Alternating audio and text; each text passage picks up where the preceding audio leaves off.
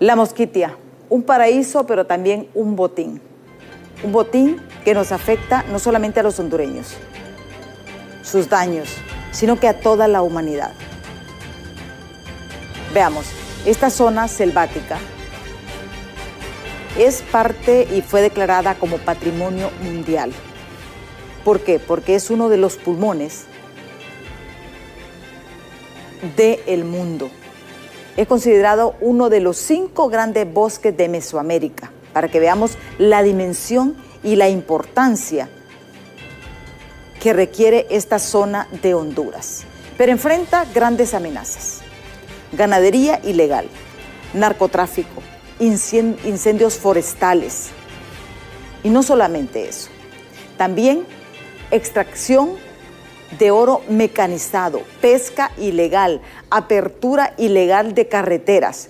¿Cuántas pistas clandestinas de narcotráfico se construyeron y después se destruyeron? Porque al final no solamente es el problema de la construcción, también la destrucción tiene un impacto terrible al momento de recuperar estas zonas. En 10 años, para que veamos la dimensión, que es cuando el momento que se ha eh, apoderado el narcotráfico en el, del país, se perdió el 25% del bosque tropical en esta zona, en este patrimonio mundial. 25%. Y la pregunta que todos nos hacemos es, ¿cuándo se van a instalar entonces los juzgados ambientales? Que esa es una de las propuestas que tienen las actuales autoridades. ¿Por qué? Porque es necesario juzgar a estas personas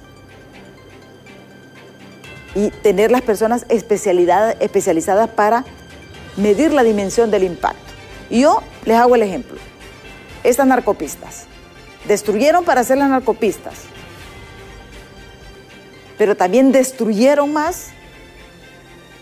Destruyeron más para destruir, valga la redundancia, estas áreas. Pero la recuperación, ¿cuánto tiempo va, a durar? O sea, un bosque no se levanta en cinco años. Pero ese es uno de los grandes retos que tiene actualmente el gobierno. Pero antes veamos esta nota de nuestros compañeros de los noticieros Impacto. Las alarmas se disparan tras el anuncio de las autoridades del Instituto de Conservación Forestal, donde afirman que la narcoactividad ha afectado 36 mil áreas forestales en la zona de la Mosquitia. Los bosques de la Mosquitia estamos hablando de la Reserva Tahuaca, Parque Nacional Patuca, eh, también Reserva del Hombre Biófera de Río Plátano. Eh, se han perdido en 10 años eh, cerca de 35 mil hectáreas de bosque que representa el 25% del área. Y bueno, ha sido un proceso gradual de pérdida de bosque, la dinámica ha sido cambio de uso. Eh, y este se ha, como lo dice la revista Inside Crime, es motivado por el lavado activo, por la narcoactividad. Estas estrategias delictivas se han distribuido en diferentes zonas del país donde los hechores de estas actividades buscan puntos estratégicos, principalmente en zonas de boscosidad para su distribución, afirman autoridades. Podemos ver que las estructuras criminales anteriormente solo era el sector de la Mosquitia y el departamento de Colón pero hoy en día estas estructuras criminales han penetrado en zonas como departamentos del Paraíso, en Olancho, Atlántida, incluyendo Lloro. Y en estos sectores hay, hay reservas forestales, hay zonas protegidas, zonas núcleos, y es donde han causado un gran daño ambiental. Estamos preparando lo que es un plan de restauración de estas zonas. Por su parte, analistas dan a conocer que estos sucesos no son nada nuevo en el país. Debido a ello, exhortan al Estado a contrarrestar esta problemática. El avance del narcotráfico y específicamente en estos territorios donde se han deforestado una gran cantidad de hectáreas, se ha logrado gracias a la permisividad que ha tenido el gobierno de Honduras hace muchos años eh, para que operen estos grupos. Ha existido poca actuación efectiva por parte del Estado para tener presencia en estos lugares. ¿Y a qué nos referimos con presencia? No es únicamente elementos que tienen que ver con patrullajes o con operativos, tiene que ver con una presencia real del gobierno de Honduras o del Estado de Honduras con diferentes oficinas, ¿no? La pérdida de áreas forestales es un problema que debería de importarnos a todos. La única forma de combatir esta problemática es creando mecanismos eficientes. Esto es un problema de suma preocupación, ya que en los últimos 10 años se ha reportado una pérdida en la cobertura forestal de la mosquitia. En cámaras de Marvin Andino informó Gabriela Plata. Gracias Daniela por recortarnos realmente ese grave problema. Honduras tiene muchos problemas, pero esto es muy importante porque el daño no solamente es para la comunidad, sino que para, la, para todo el mundo, porque es uno de los pulmones que tenemos aquí en Mesoamérica. Está aquí con nosotros el ministro director del FIS, el ingeniero Luis Solís, porque han ocurrido aspectos interesantes, interesantes por el hecho de que luego de la cumbre del cambio climático en Dubái han surgido muchas reacciones, incluso el mismo actor Leonardo DiCaprio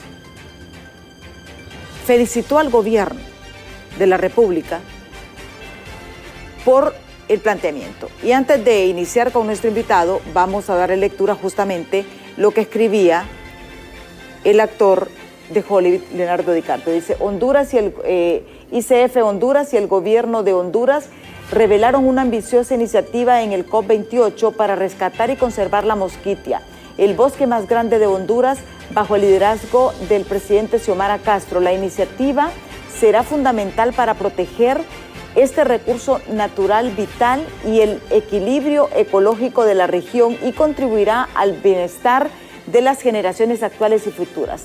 La iniciativa es una inspiración para la región y el futuro de los cinco grandes bosques de Mesoamérica. Según una investigación del eh, THEWC, en los últimos 20 años la mosquitia se ha enfrentado a una serie de amenazas que han dado como resultado la destrucción del 25% del bosque de la región.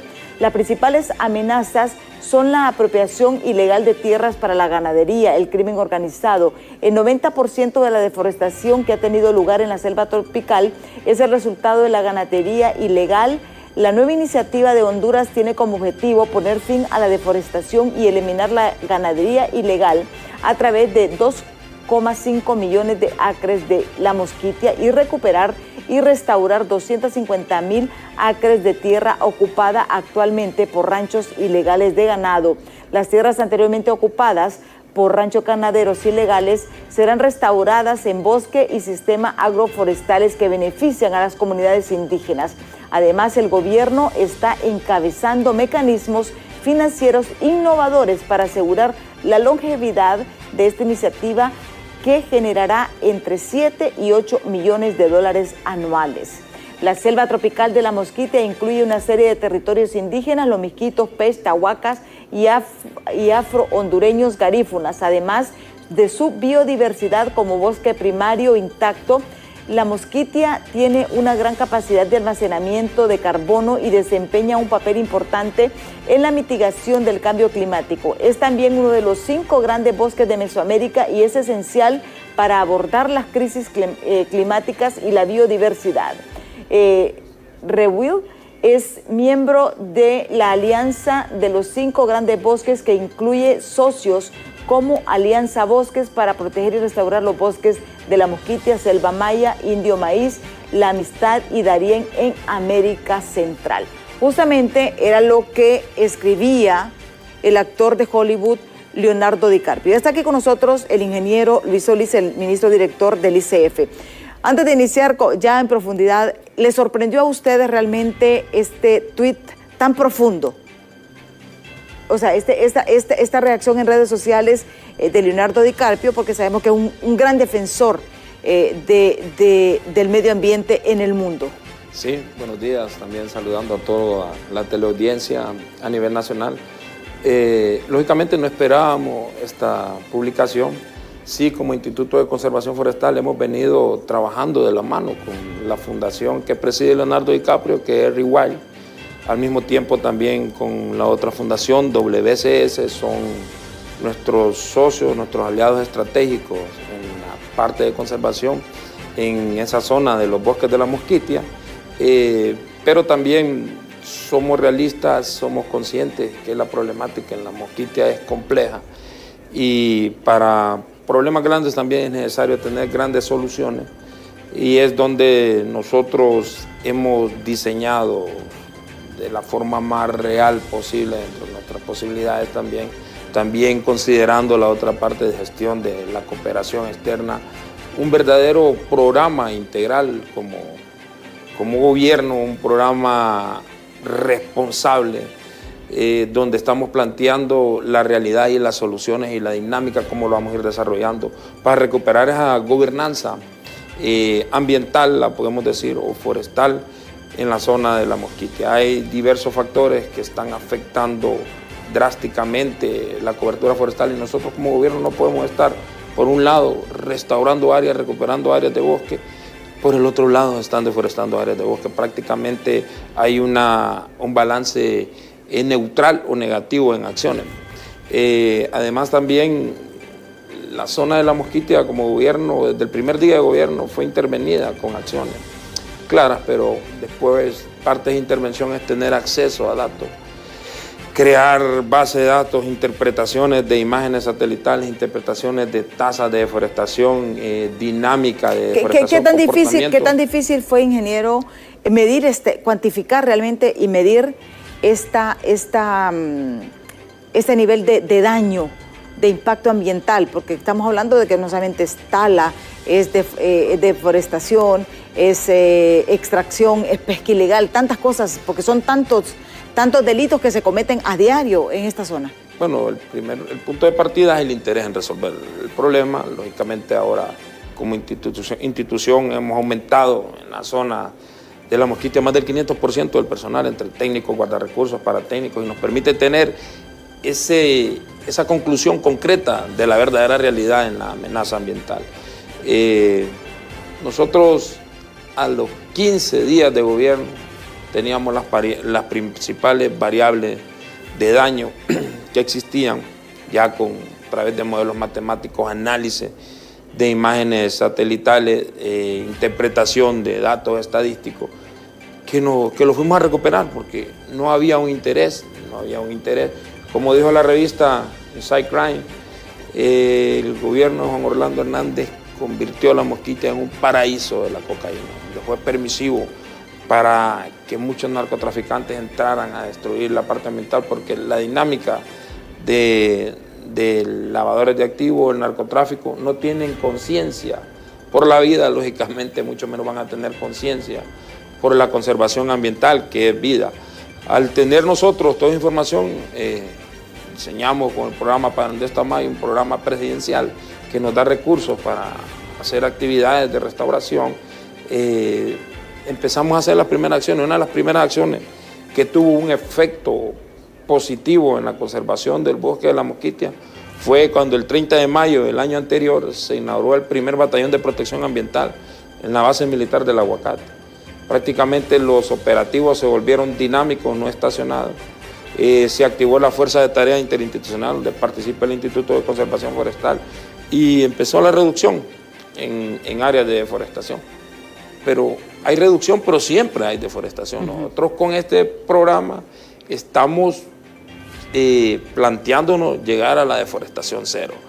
Hemos tomado las áreas de bosque, definido la frontera forestal, donde en la reserva de biosfera del río Plátano, que es un patrimonio de la humanidad, eh, hemos logrado tener disminuir una tasa de, deforestación del 67%.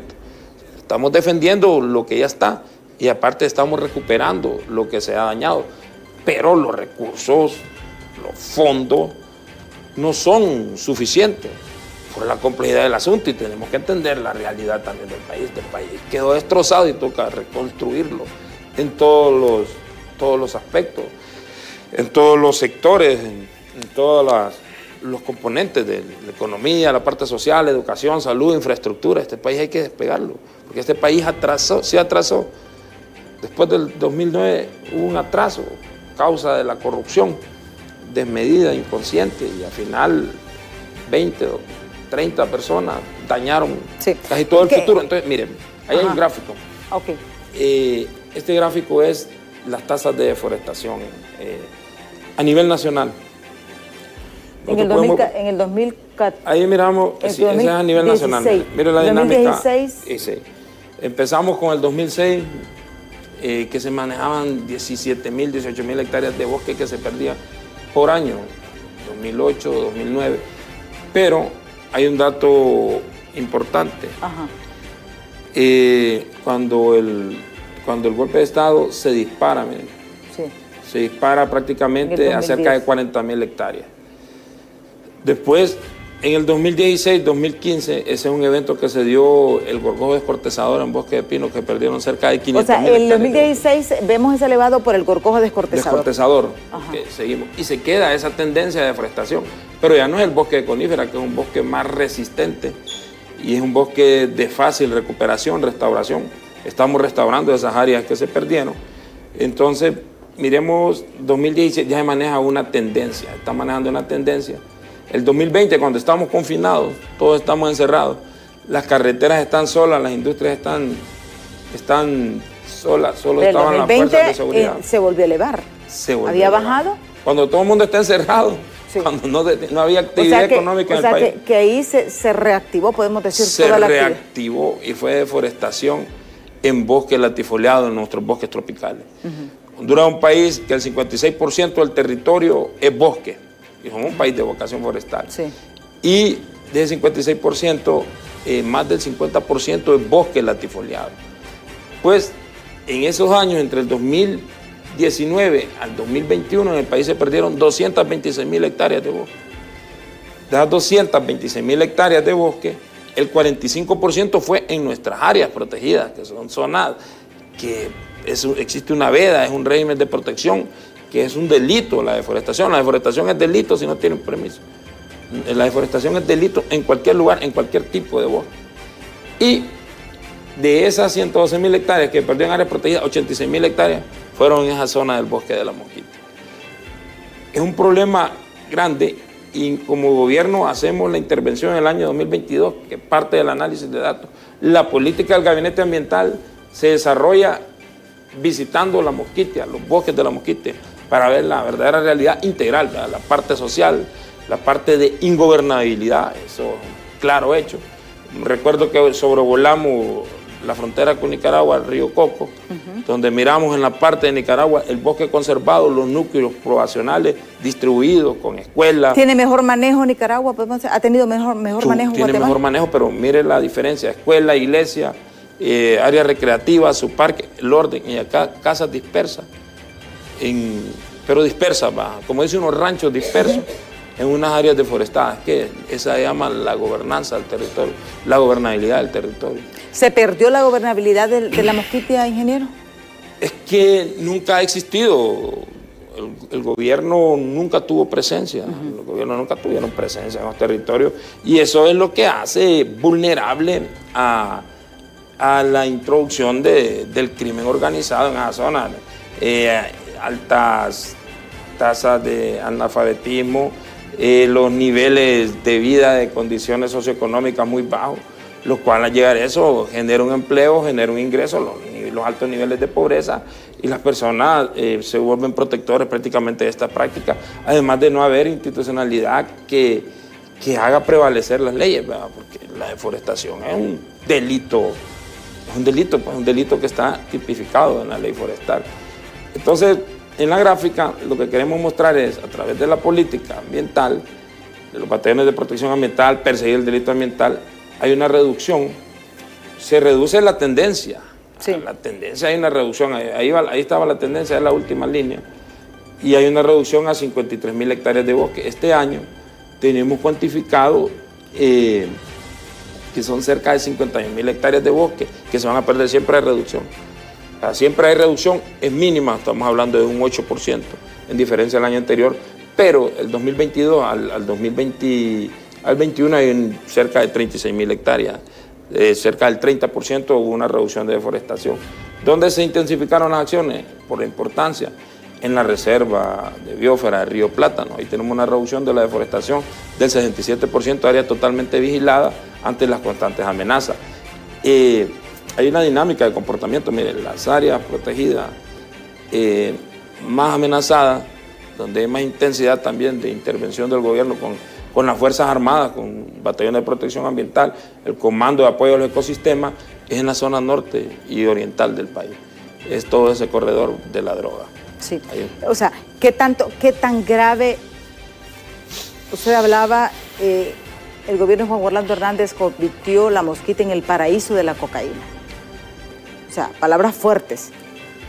¿Qué tan grave y cómo se puede dimensionar? Y que nos explique usted más o menos cómo lo hicieron, porque yo creo que cuando decimos así no, nos quedamos cortos, porque usted que ha visto in situ la realidad, incluso los mismos videos no, demuestran el, tanto el daño que se ha hecho.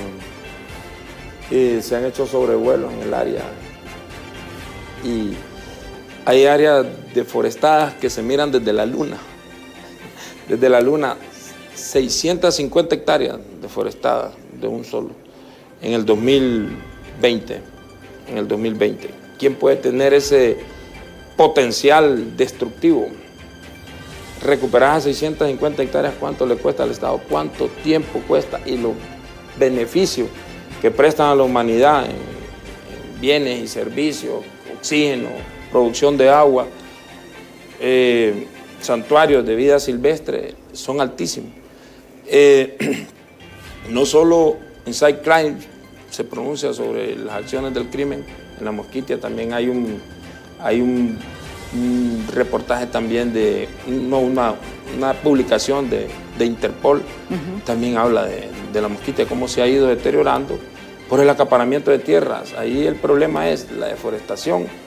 El 95% de la deforestación en esas áreas es para cambio de uso de suelo para ganadería extensiva, son acaparamientos de tierra que se están dando, están colonizando y ahí es donde el gobierno está interviniendo en evitar esas acciones en el mes de septiembre. Y cuando hablamos, cuando hablamos por ejemplo, ese término, ustedes lo utilizan ganadería ilegal.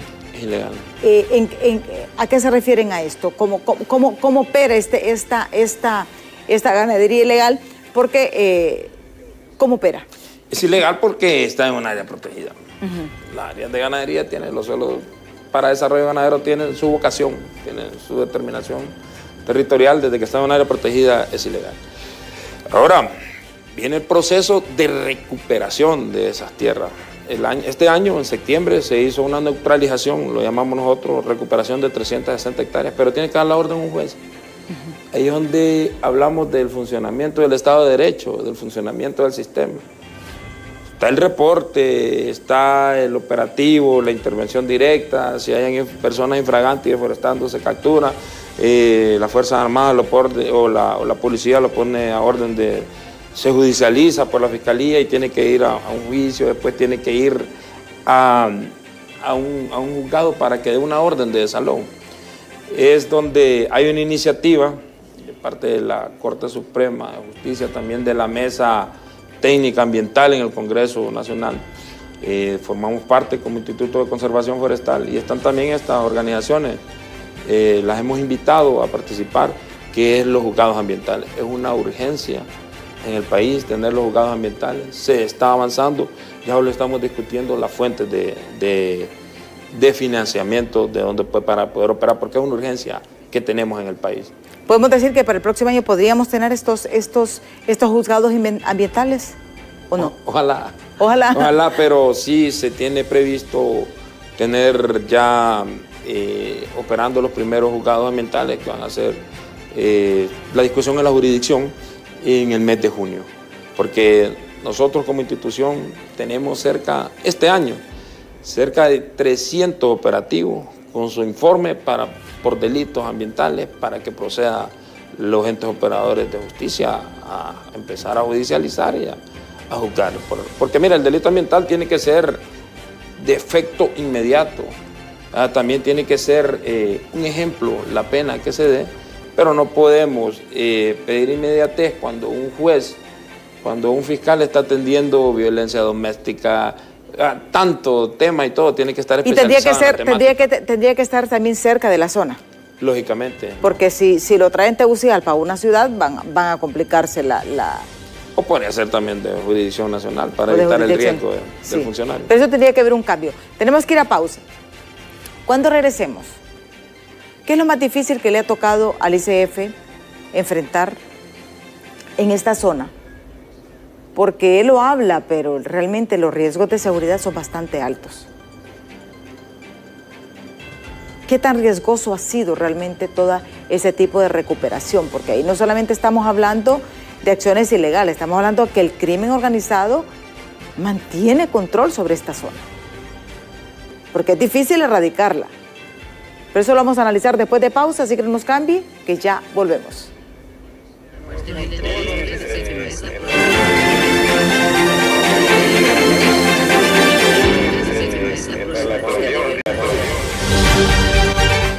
Continuamos esta entrevista con el ministro director del Instituto de Conservación Forestal, el ingeniero Luis Solís. Ha dicho frases impactantes y ha dicho que la administración de Juan Orlando Hernández convirtió a la mosquitia en un paraíso de la cocaína. Que la dimensión que hay, o sea, la, la deforestación es tan grande que se mira desde la luna, porque son hasta 650 hectáreas de bosque que han sido deforestadas con fines de diferente manera, porque aquí no solamente vemos el bosque, también, por ejemplo, hay extracción de oro y otros minerales de manera ilegal, aparte de la ganadería ilegal. En esta extracción ilegal, ingeniero, ¿qué tan grave es la situación en estos momentos? Hay uno de los ríos, el Cico Paulaya, en esa zona, río Plátano, otro de los ríos afectados, el río Guayapa, acá en Olancho está fuera de esa área, eh, río Patuca. Y en Cico Paulaya hay un lugar que se llama Champas. El año pasado se hizo un operativo inmenso. Movilizaron hasta tres helicópteros, decomisaron cerca de como de 50 millones en maquinaria, maquinaria sostificada que estaban utilizando para la extracción de oro. En extracción de oro es como dice, decimos nosotros, en, lo fácil, se van a nanciar. Se van a la, a la ribera del río a destruir el lecho del río para hacer el lavado de la tierra y que quede lo que es el oro, destruyendo todos los cauces y lechos del río. Cuando se hizo ese operativo, hubo un decomiso, un optimismo participó la Fuerzas Armadas, la Fuerza Aérea, la Secretaría de Recursos Naturales, el Instituto de Conservación Forestal, INGEOMIN, la Fiscalía, el Ministerio Público. A la semana fueron liberadas las maquinarias por parte de, de, la Fiscalía en Trujillo. Entonces ahí es donde este tipo de acciones es repetitiva en este país. Aquí se, en el delito ambiental se han capturado con evidencia infragante eh, muchas personas y han sido liberados y han sido puestos en libertad. Hay una persona que fue capturada con un arma de, guerra que lo tipifica la ley, yo no, como nueve años de cárcel, arma de guerra, fusil, dos fusiles de asalto, y fue liberado por un fiscal en acción de robo de madera. Estaba robando madera en un área ilegal, corte ilegal de madera, con camión, vehículos, lo liberaron. Entonces, aquí es donde hablamos que funciona la institucionalidad. Incluso hay situaciones, hay hasta denuncias, que la institución técnico presenta el informe, donde se va a acusar a una persona y después funcionarios de otras instituciones corruptas lo que hacen es hacer negocio con esa persona para no llevarla a judicializar. Y esa es una queja constante que para poder detener todo esto tiene que funcionar. Pero esta, esta, mafia, esta mafia, porque yo he venido escuchando desde hace mucho tiempo, y lo escuchaba de muchos joyeros, porque antes por lo menos eh, usted podía encontrar pepitas de oro guayape, ¿se acuerda? ¿Verdad? que encontraba usted en las joyerías, hasta hacían, pero luego se trascendió de que el crimen organizado estaba operando, estaba haciendo estas extracciones eh, ilegales de oro y plata y otros minerales aquí en el país. ¿Qué tan cierto es esto? Eh, había que determinar la estructura, pero es el mismo modo operandi, digamos. Yo conozco la zona de Concordia, un lugar que se llama el Portillo Artesanal, todo el mundo salía con su bate. Sí. a lavar oro artesanal, es un medio de vida, pero la forma agresiva como cambió la dinámica de explotación del recurso, eh, eh, como esa dinámica inicia como en el 2012, donde entraba aquella gran maquinaria, unas colombianas para lavar oro y todo, cómo destruían los lechos y del río. Se han hecho operativos, se han neutralizado, se han, se han, se está como constantemente donde se detecta la actividad de minería, que para hacerlo también necesitamos recursos de realizar sobrevuelos y todo. Toda actividad, toda acción para prevenir el delito ambiental necesita de recursos, necesita de una logista, necesita de coordinación y participación interinstitucional. Si no, no tiene efecto. Eh, eh, pero en la zona de, Sico, Paulaya, los cuerpos de seguridad del Estado, por la delicadeza del asunto, eran, eran operativos de alto riesgo porque se tenía información que también eran lavadores de activos que estaban dañando el recurso la extracción de oro.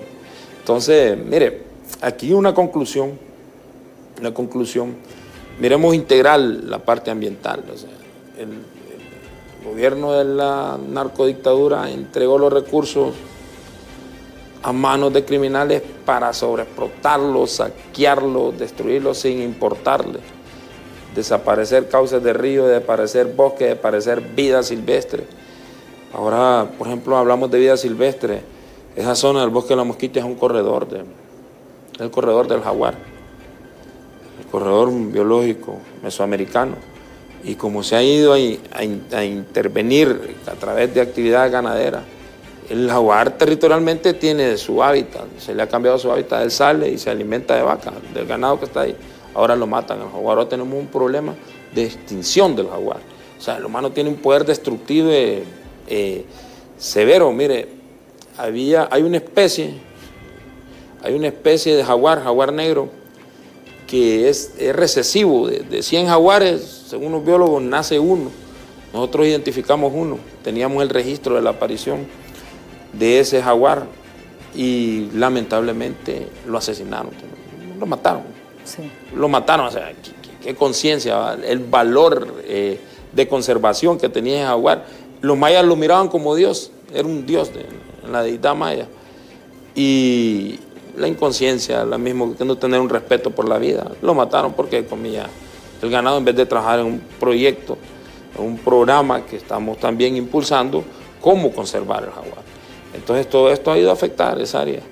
Y eso es claro, una persona consciente aquí en el país, hay personas que viven del sector primario de la economía, extracción de recursos, bajo la legalidad, bajo sus permisos, bajo la sostenibilidad, porque esos permisos que dan por instituciones responsables lo que garantizan es la sostenibilidad, las medidas de mitigación para evitar el daño ambiental y nunca comprometer el recurso, pero lo ilegal es totalmente destructivo. Sí, y esto, y esto los, eh, el, ritmo, o sea, en estos momentos, ¿cómo podríamos decir que se encuentra este proceso? ¿Se ha contenido? ¿El cual? De ¿La deforestación?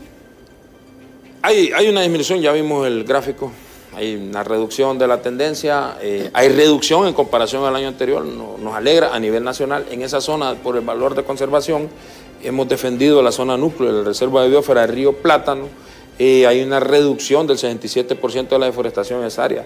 Ahora, no debería haber deforestación. Y si aquí hay pérdida de cobertura forestal, debe ser a eventos naturales ocasionados por el cambio climático, como un evento de un ataque de plaga en un bosque. Y daños que se ocasionan por incendios forestales que no los podemos evitar, no está en nuestras manos.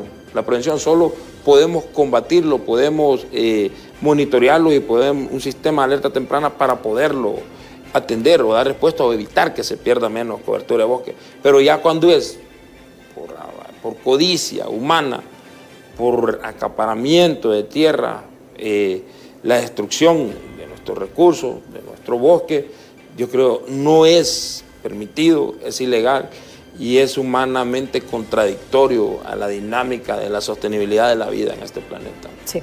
Ahora bien, el gorgojo descortezador fue una plaga que arrasó.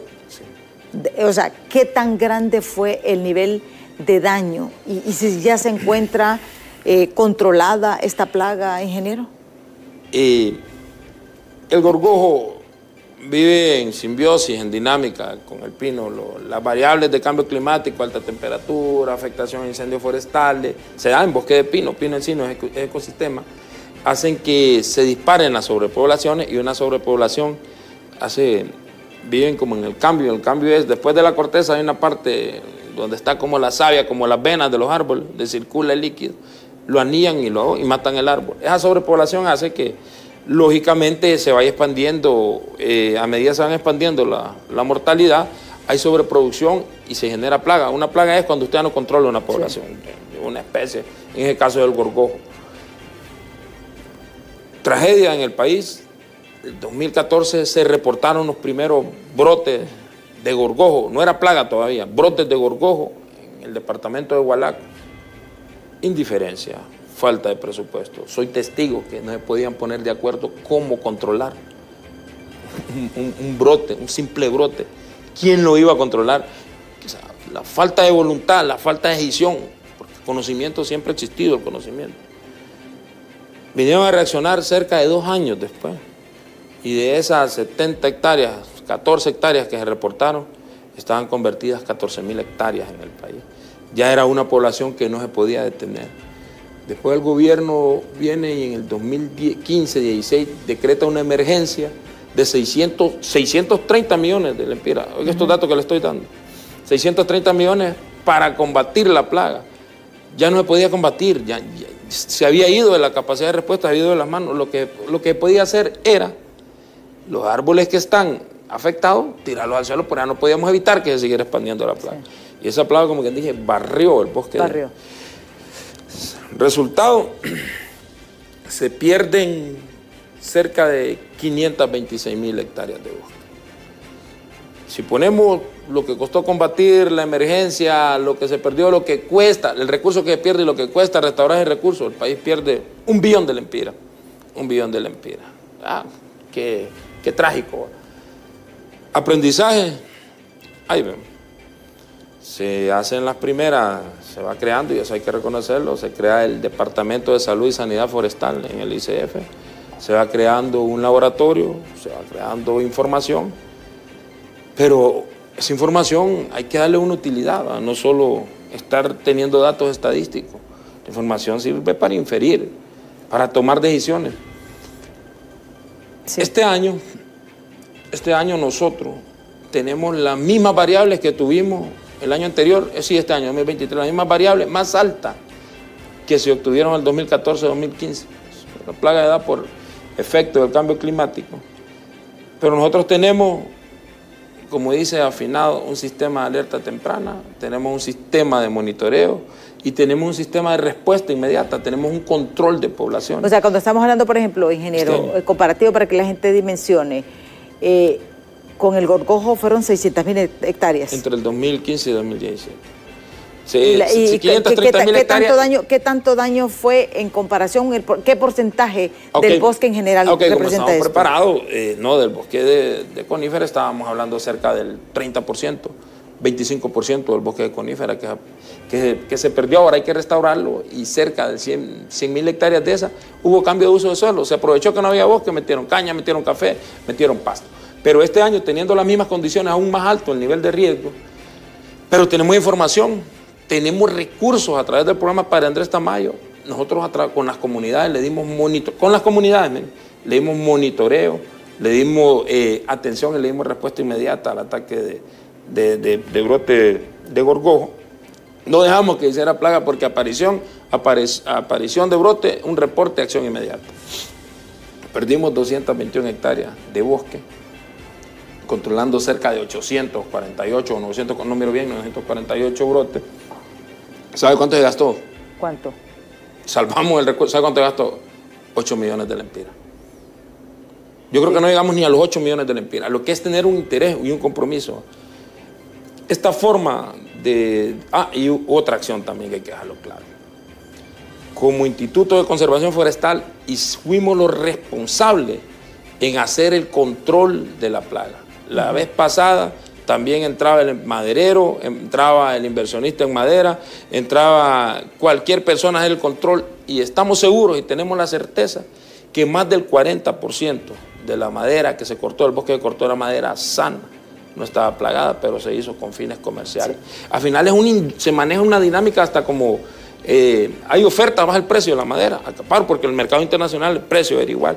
Y mire lo que gastó, 8 millones. ¿Cuánto perdimos? 221 eh, hectáreas. Al final, la Universidad Autónoma de México le reconoce, le reconoce a Honduras, al país, le reconoce al gobierno, eh, esa metodología y esa forma como hemos eh, tratado la incidencia de, gorgojo para no permitir que sea plaga. Y este año estamos preparados, este año tenemos una perspectiva climática similar. Eh, nos estamos fortaleciendo con el laboratorio. Ahora ya no solo vamos al método convencional de cortar, quemar y dejar, ahora estamos también con el método biológico, control de población. Sí, tenemos eh, mensaje que nos ha escrito al 3182-5600 eh, sobre este tema para ver qué nos dice. Buenos días, licenciado y su invitado en el foro. Lamentablemente hoy en día en el mundo todo se resuelve con dinero, nosotros no somos la excepción. Somos un país pobre, no tenemos los recursos para rellenar todos los problemas del país y le dedicamos más presupuesto a las prioridades que según el gobierno más lo necesitan. A los políticos no les interesa lo que sucede alrededor del país. Solo licenciada observe cuánto dinero se recetaron en bonos navideños, solo con ese dinero cuánto se hubiera hecho eh, por esa zona y la población. Ese es otro problema y serio que enfrenta el gobierno para preservar la salud del pueblo en cuanto al oxígeno.